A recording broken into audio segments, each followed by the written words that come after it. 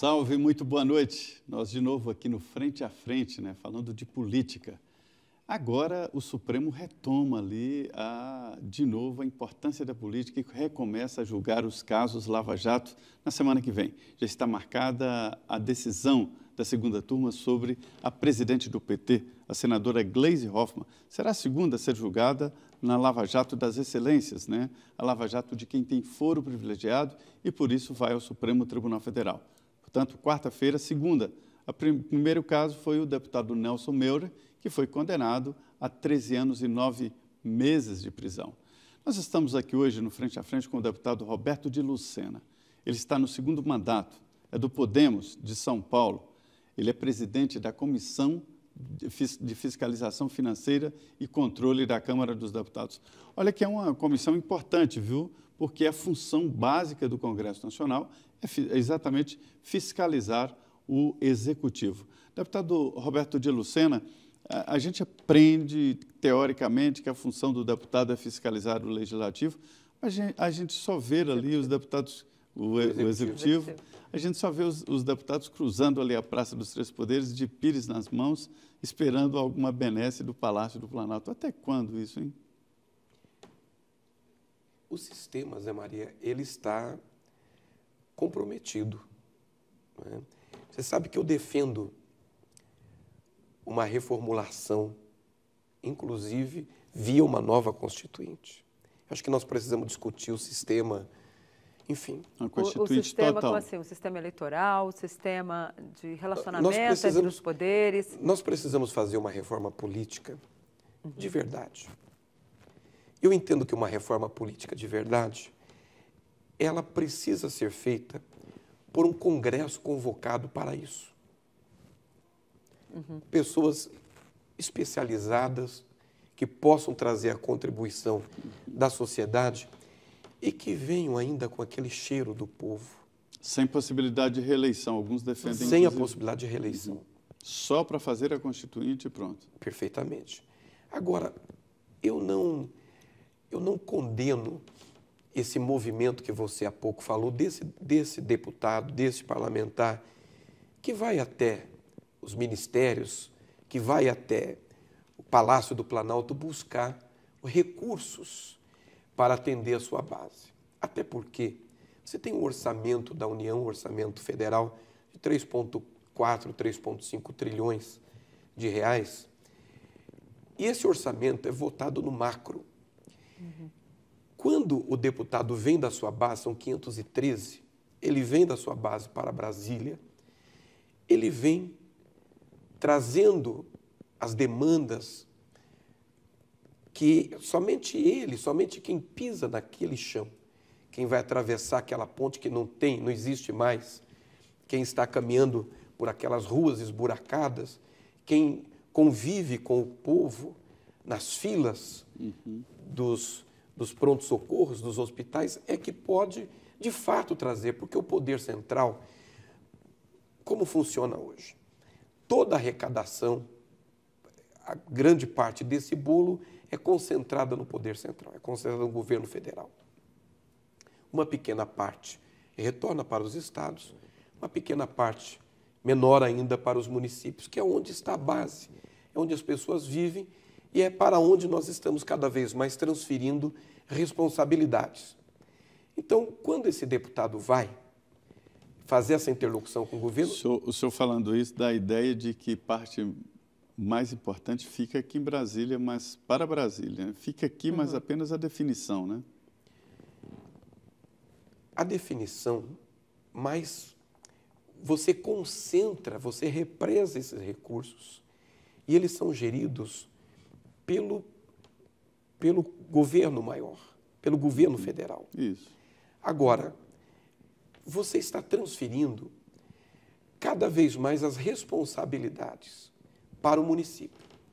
A educação, a iluminação recentemente, os resíduos sólidos, você está transferindo responsabilidades. E não está transferindo recursos. Não está transferindo recursos. Então tinha que ter uma distribuição Sem mais dúvida. equânime aí dos recursos. Agora, essa distribuição hoje ela não é possível. Quando você pega o orçamento que nós praticamos em 2017, você vai perceber que nós aplicamos 47% desse orçamento com pagamento à dívida pública. Uhum. Você vai ver que nós aplicamos 24, 25% desse orçamento com a nossa previdência.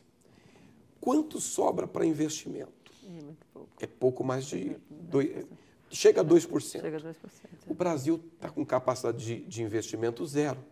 Uhum. Então, nós e precisamos. Vai continuar assim, né? Vai Sem continuar assim. Agora, nós precisamos rever o Pacto Federativo, nós precisamos é, rediscutir com os municípios uhum. as suas responsabilidades, e isso tudo passa pelo que eu disse a princípio. Olha só, tem uma pergunta aqui de Santo Antônio de Santo Antônio de Jesus, na Bahia. Muito obrigado. Eu conheço. Um abraço é. para o nosso uhum. povo de Santo Antônio de Jesus. É o Patrício que faz a pergunta.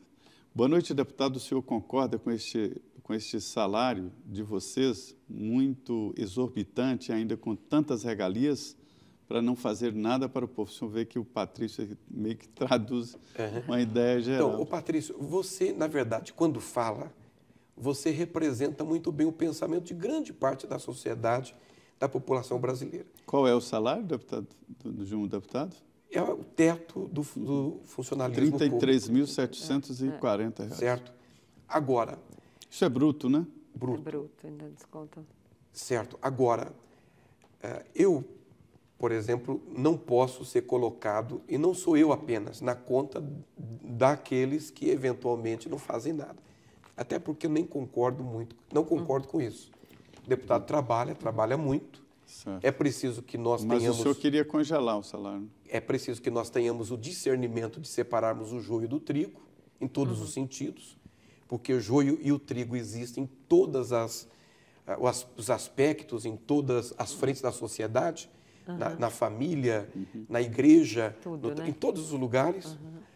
Agora, Dizem que na imprensa também tem, a gente separa tem... o joio do trigo e publica o joio, né? Veja, eu fui considerado pela imprensa, inclusive, o deputado mais atuante do Estado de São Paulo, o quinto mais atuante do Brasil. Uhum. Eu tenho mais de 500 proposições legislativas, estou entre os mais assíduos da casa.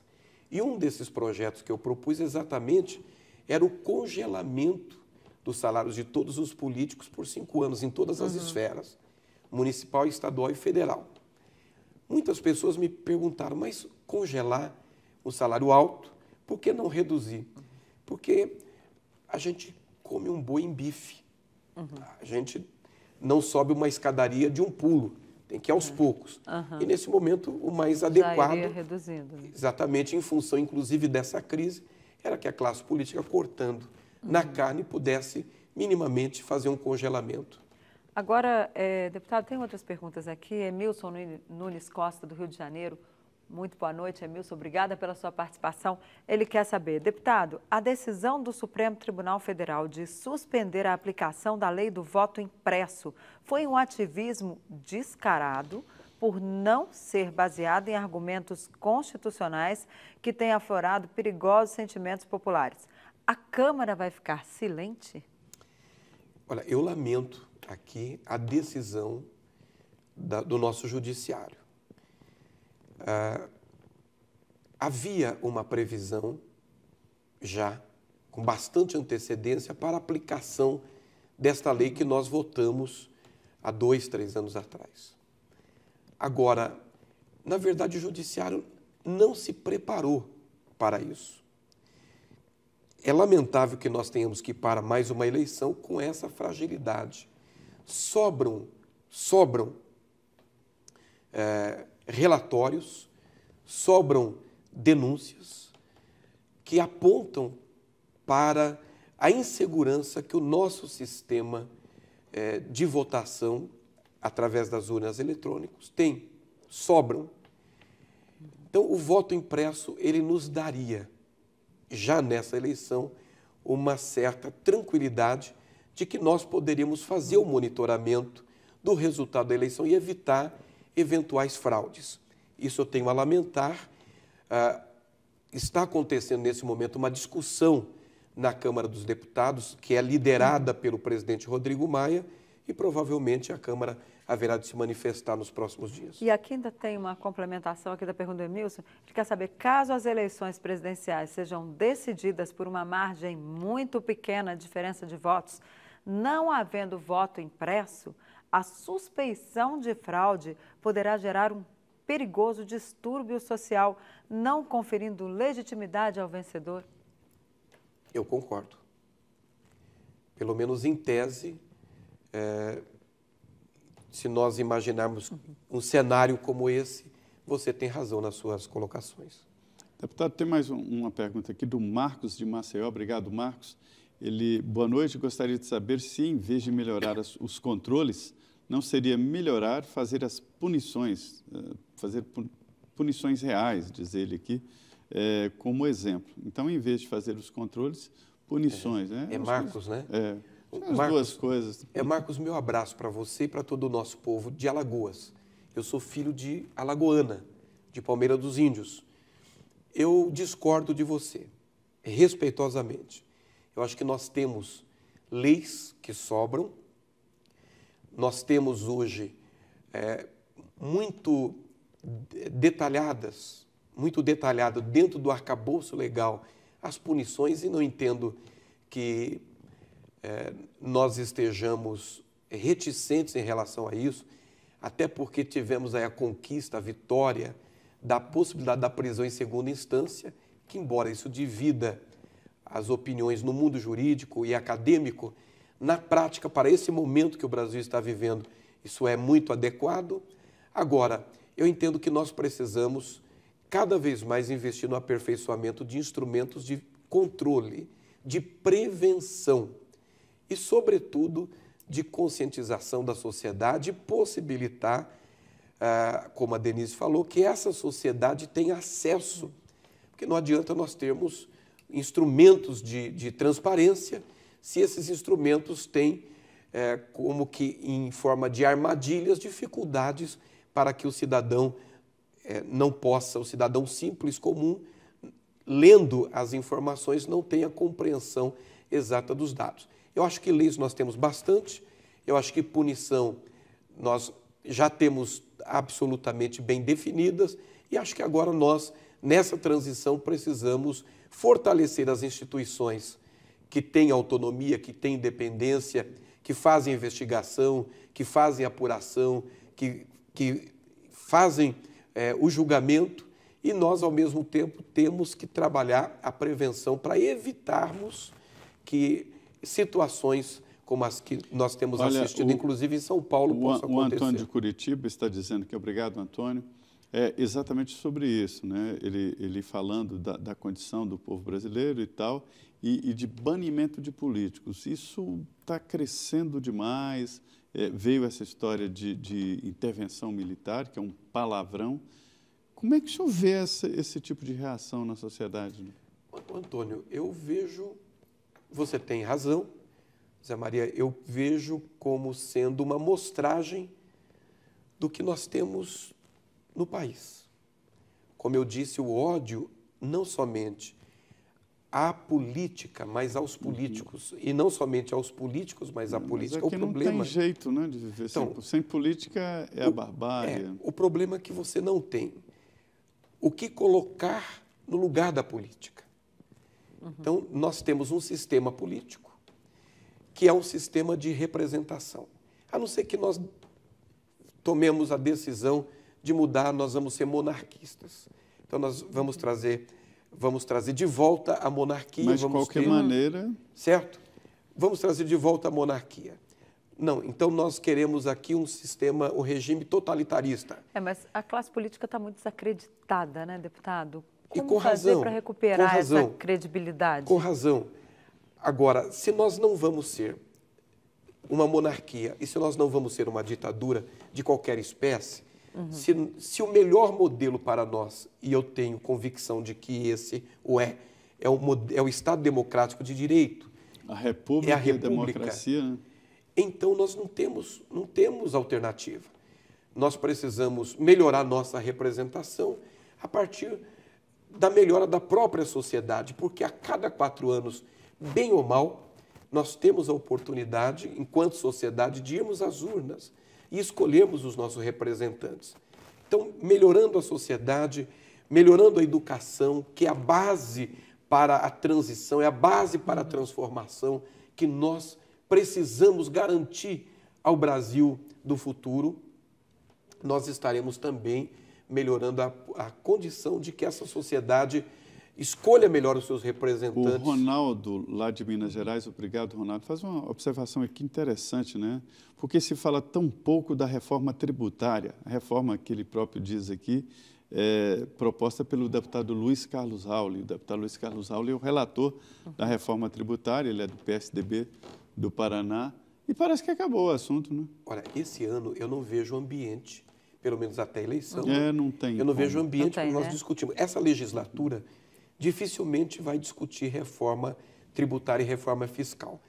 E eu entendo que Acho ela Já é. acabou, não discute mais nada não. de polêmica. Eu entendo que nós temos que ter a discussão da reforma tributária e fiscal como um ponto de partida da próxima legislatura, do próximo Congresso Antes da Nacional. reforma política, fazer já essa questão dos impostos. É, primeiro, Resolver porque, essa- o, primeiro porque o Brasil, como eu disse, não tem capacidade de investimento. Ele precisa atrair investimento da iniciativa privada. Esse investimento precisa ter segurança jurídica, segurança legal. Então, nós precisamos retirar o peso de sobre a costa da sociedade, os ombros da sociedade, que trabalha quase cinco meses por ano para pagar os impostos. Nós precisamos trazer investimento e esses investimentos só virão com segurança legal, com segurança jurídica. Por isso é importante nós pensarmos essa reforma, discutirmos e aprovarmos. E essa proposta que o Raul tem defendido, ela é muito equilibrada, ela é muito ajuizada. Eu entendo que muito moderna e pode ser uma resposta para o país. Ok, nós vamos para o nosso último intervalo. Eu convido você a participar do nosso programa, mandando as suas perguntas para 17 996 47 3337. Repetindo, 17 996 47 3337. Aguardamos a sua participação também pelo meu Twitter, arroba Dene Rotenburg, que aparece aí no rodapé da sua telinha, ou arroba José M. Trindade. Voltamos em dois minutos.